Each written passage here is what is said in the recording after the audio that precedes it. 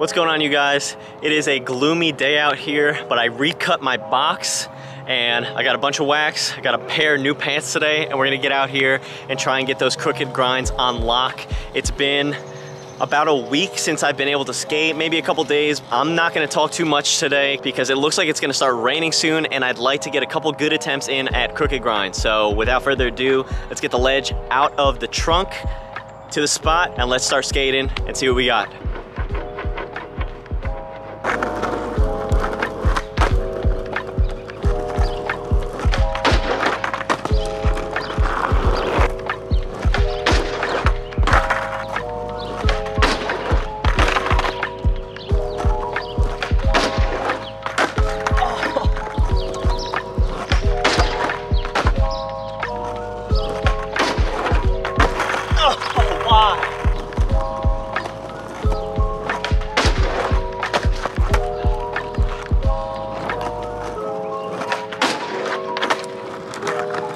Haven't skated in a couple days, so I'm actually out of breath today. I forgot how small my ledge is, so it's kind of hard to get technical with tricks. Like the front 50-50, front shove out. I tried for a while. You have to have a really quick reaction time, and you have to have your weight distributed perfectly for the front shove out almost immediately. The one that I got it's been about half an hour. I haven't even started the crook yet. I'm taking it. I'm sweating bullets. Pretty hot today. These jeans though, man, I'm digging it. I'm digging the baggy, the baggy wear right now. I got that Kakashi Sensei t-shirt. He's helping me push through the session. We're gonna go for a back 50-50 and then we're gonna get right into crooks. Let's hope we have enough energy, man. All right, let's go.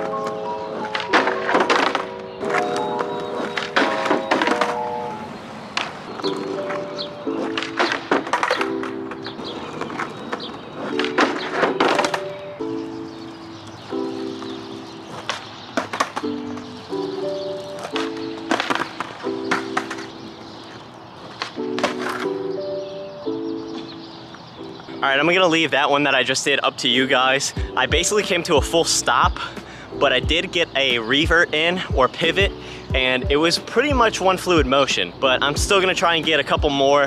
Hopefully we can figure it out. So let's get back to it and see what happens.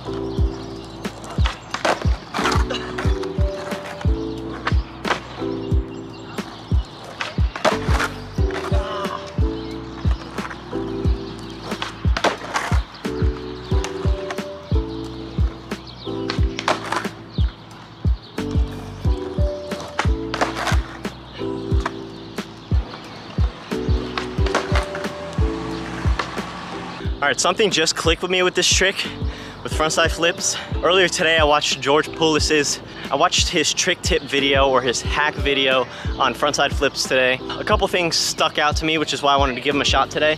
But I had one extra tip that I think will definitely help if you're trying to learn frontside flips, if you're watching this video, and that is don't try and pop them super high whenever I do a kickflip or any flip trick, I really try and get some good pop in it.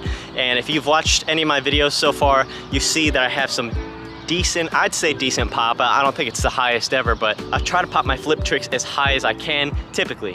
When I'm learning a new trick, I do the same thing, which is probably a mistake on my end and is why it takes a little bit longer for me to learn some flip tricks. But with frontside flips, you really wanna get more of the rotation and it's hard to do when you're first learning when you're going for the pop, right? So my focus learning these, um, what has clicked in the last five or 10 minutes where I've landed a couple really late pivots, it's still a nice building block and foundation to build off of in the future, is that I'm flicking as fast as I can, right?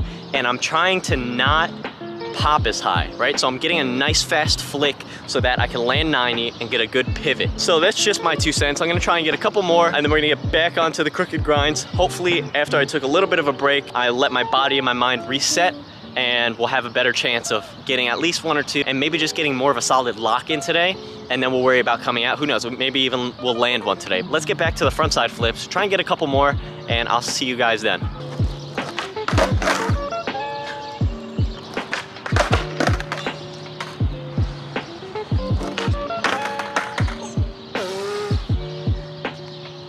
That's two shinners back to back in the same spot. Oh God.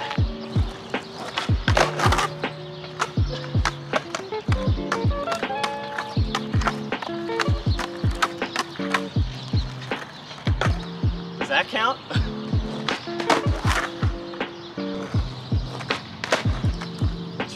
All right, that's it for the frontside flips. I hit myself in the same spot on my left ankle like three times in a row and in the same spot on my right shin like four times back to back and it is killing me. I think I made some decent progress with frontside flips today. This is a trick that I've wanted since I was a kid. Uh, I remember trying a couple times and I thought of it more of like a hard flip body varial type thing. I can never really get it. Doing it the way that uh, George said in his trick tip has definitely helped a ton. I mean, I was able to land a couple 90 and then get a like a late revert kind of pivot thing. I think I got like one or two where it was actually kind of smooth considering that I've only been trying them for about 20 minutes. That's pretty good, man. I'm making some decent progress. I've been making some crazy progress recently with flat ground tricks, with some ledge tricks, with some rail tricks. So honestly, I cannot complain. As long as we're getting some kind of progress, I'm, I'm happy with myself and I, and I won't go home disappointed or bummed out. I know that those might not be bona fide frontside flips. Again, let me know in the comments down below if you guys think that those are bona fide frontside flips. I know I have a ton more work to do with them to get them consistent, but I'm sure if I landed a couple of those that I did earlier over a hip, I think they would have counted for sure. But again, I know that I'm not on a hip, this is flat ground, and so full rotation and movement after the trick does matter, at least to me. But progress is progress nonetheless. So I only have about 10 or 15 minutes left. I am gonna go ahead and attempt more backside crooked grinds until I'm absolutely out of time and I gotta go. Let's get to that and I'll catch you guys afterwards.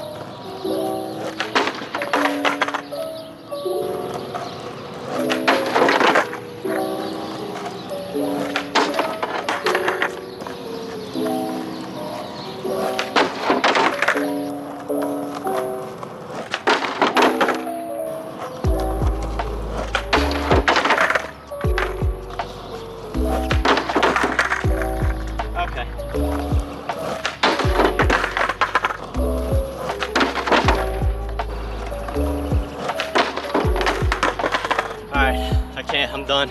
All right, I'm sitting on the bench, you guys, because my feet are killing me. I worked six hours today, standing on my feet six hours straight, and came out here for about two, two and a half hours, and I got pretty far and got some pretty decent progress today. Not only with the backside crooked grinds, but with that frontside flip that I was doing earlier. I wouldn't say the frontside flips are perfect. Of course, we still have some work to do, but any progress is good progress in my eyes and I know what I was doing wrong with the crooked grind, so I'm just gonna go over that really quick. Talking about what I was doing wrong kind of helps me decompress and it also helps me figure out the trick and maybe if you guys are having the same issue it could help you guys in the future. So one of the issues I was having like I was talking about before was getting over on top of the ledge which was I think just a fear response. I'm not comfortable doing like nose grinds. Honestly my nose manual game is trash so kind of getting on there and getting into that just weight over my nose is kind of scary for me. I'll get over that just like I did with the feeble grinds. I don't have any issues or doubts that I will, but right now it's definitely a fear factor type variable that I gotta work through. But anyway, that's gonna be it for today's video. I hope you guys enjoyed it. I know I enjoyed coming out here and getting some progress and working away at a dream trick and actually landing you know, a dream flat ground trick. Frontside flips were something I've always wanted to learn and I just always told myself they're unattainable until now. So now I know I, I'm, I'm very close. I just gotta work a little bit harder and we'll get them very soon. And as always, keep safe, stay shredding. I love y'all and peace out. He's just chilling. He's vibing. Eating some fruit salad, baby. Yeah, what's up?